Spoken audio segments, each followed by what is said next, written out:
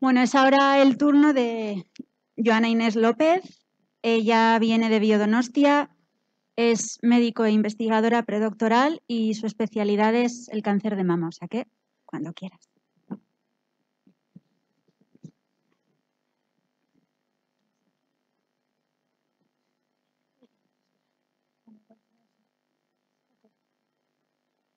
Buenos días, es un placer estar aquí. Muchas gracias por la invitación a la organización. Mi nombre es Joana López y mm, antes de venir, eh, bueno, estoy aquí para hablarles de mi carrera académica y profesional. Sin embargo, antes de venir he hecho como un pequeño ejercicio de abstracción y he sacado las cosas que me gustaría que me dijesen si yo estuviese ahí, como están ustedes ahora. Y y esto relacionado con lo que he aprendido en mis diferentes etapas académicas. Em, y esta historia empieza antes de estudiar medicina, empieza un año antes y, este consejo que les doy me tomó un año entenderlo. Y el primero, y sería el no te confíes y prepárate. Yo no quedé en la carrera de medicina la primera y de hecho hice dos veces el examen para, para entrar a la universidad. Eh, y la primera vez fue por confiarme solamente que las buenas notas y lo que creía que sabía me iba a funcionar para pasar el examen de admisión. Eh, me funcionó porque no, no, no, no me quedé sin estudiar ese año, estudié químico biólogo, y, pero ese año estuve preparando por las tardes el examen de medicina, de tal manera que ya había aprendido a no confiarme solamente de, mi, de, de mis buenas notas y, y al siguiente año eh, entré a la universidad, entré a la carrera de medicina. Em, aún guardo este papelito, tengo 11 años con él. Es el resultado del examen selección porque para mí fue muy importante el entender que el esfuerzo diario muchas veces tiene esa recompensa que tú deseas. Después, eh, el segundo consejo me, me tomó los primeros años en mi carrera universitaria y si lo hubiera sabido antes, pues me hubiera ahorrado muchos quebraderos de cabeza. Y es el estudiar para aprender y no solo para pasar un examen. Eh, cuando entré a medicina, uno está cuando, cuando entré a medicina fue darme contra la pared porque uno está acostumbrado a, mm, bueno, estaba acostumbrado a tener buenas notas, incluso cuando estudié químico biólogo tenía buenas notas. Entré a medicina y es un campo totalmente nuevo, no sabes lo que te espera y fue abrumador para mí y de hecho frustrante porque no tenía buenas notas. Pero yo disfrutaba al estudiar.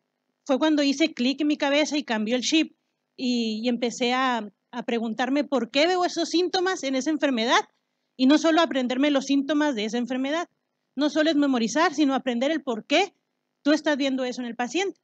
Y eso me ayudó mucho en, en la universidad, disfruté la universidad, disfruté el estudio y tanto, me, tanto lo disfruté que duré un año más en la universidad solo por irme de intercambio a, Argentina, solo por conocer eso, eh, eh, conocer cómo es el conocimiento en otro país. Em, el último consejo que les daré, bueno, el último, el penúltimo consejo, eh, me vine a encontrar con él y es lo que aprendí durante mi carrera profesional en España. Y sería, sigue tu curiosidad, que nunca se llega tarde a ningún sitio. Y con esto no quiero decir que seas un impresentable y que si quedas con tus amigos dures 30 horas sin, 30 horas sin llegar. Eh, quiero decir que tú puedes ir del punto A al punto B pasando por C y D primero y eso no significa que vas retrasado. Em, yo venía a España con la idea de hacer la especialidad médica, con la idea de hacer el MIR, sin embargo, también eh, yo sabía que el trámite del título médico mexicano iba a, tomar su tiempo al título médico español, pero también tenía mucha curiosidad de estudiar una maestría o máster, como le llaman aquí. Em, vine con la idea de estudiar un máster en investigación biomédica, sin embargo, cuando vi las materias o lo que se iba a impartir en el máster de biología molecular, me llamó más la atención y entré ahí. Eh, era la única médico en ese máster y de hecho recuerdo haberme, habré pensado, no me, no me habré equivocado. Pero al final el tiempo y las decisiones pusieron todo en su lugar. Ese máster hizo que me cambiase de vivir a Bilbao a venir aquí a, Donostia. y me hizo darme cuenta de esta carrera científica que, a veces no se ve o que eh, esta carrera de investigación que a veces no, no, no, no se visualiza mucho en medicina. Y me ha podido, me ha podido, eh, me ha podido, me ha, abierto sus puertas el hacer el máster, porque así se empieza la carrera científica. Y actualmente estoy haciendo mi doctorado en biodonostia.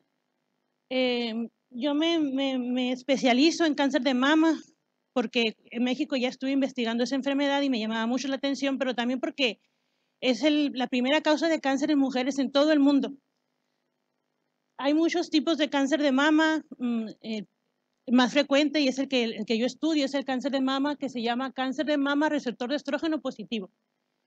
Y lo que yo estoy enfocado, lo que yo quiero hacer eh, durante mi tesis doctoral es encontrar algo curioso que les pasa a este tipo de cáncer. Es, este tipo de cáncer, el tratamiento eh, antiestrogénico es muy eficaz. ¿Por qué? Porque las células que, que de este, de este tipo de cáncer de mama dependen de estrógenos para crecer y cuando se le quitan los estrógenos eh, disminuye este, este tumor y muchas veces desaparece. Y es eficaz porque las mujeres tardan de 10 a 15 años eh, sin presentar ninguna recaída. Pero esto, esto también es el hecho curioso que tiene este cáncer. Después de 10 a 15 años las mujeres recaen y pueden presentar un tumor en la otra mama o en, otro, en otra parte del cuerpo. Y eso es lo que llamamos resistencia al tratamiento, porque las células tumorales crecen a pesar de que no reciben estrógenos.